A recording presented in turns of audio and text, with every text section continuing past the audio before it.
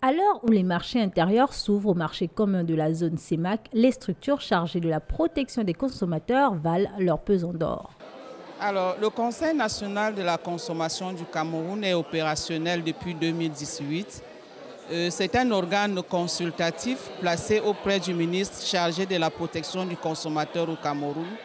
en l'occurrence le ministre du Commerce. Il a investi euh, de quatre missions de de, la promotion de la concertation entre les administrations, le secteur privé et les organisations de protection du consommateur, de l'animation des échanges de vues entre ces différentes euh, parties, de l'émission des avis lorsqu'il est sollicité par le gouvernement et de la réalisation des études.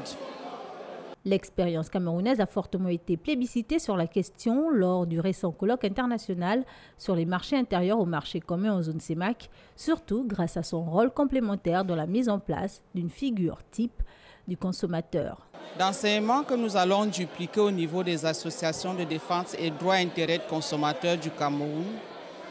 en termes déjà d'appropriation de la, de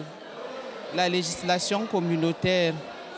parce qu'elle n'est pas toujours la chose la mieux partagée pour euh, les associations de protection de consommateurs que j'encadre et pour euh, les autres parties prenantes à la, à la protection du consommateur au Cameroun